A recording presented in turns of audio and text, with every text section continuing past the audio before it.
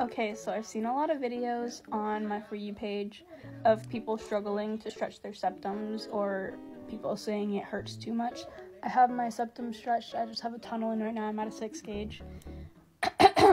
um, what helped me stretch it without it hurting was I would go into the shower, like have the shower hot and like get the steam up your nose, whatever, um, and massage your where your septum piercing is for like three minutes, two to three minutes, and then get like an oil or lube or whatever, um, and put it on your piercing hole and the piercing, and then literally it should just go straight in, one to one or two millimeters max. Don't try and go like two sizes up first, and also wait like two to three months in between each stretch, um, so that way it's healed and it like doesn't hurt.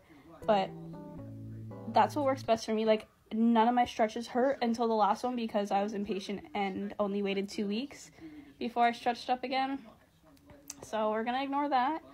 But every other stretch before that did not hurt at all. It just went right in, and just from massaging it and oiling it in the shower. So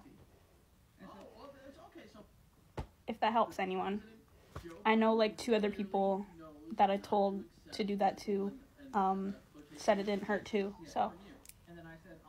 So, good night.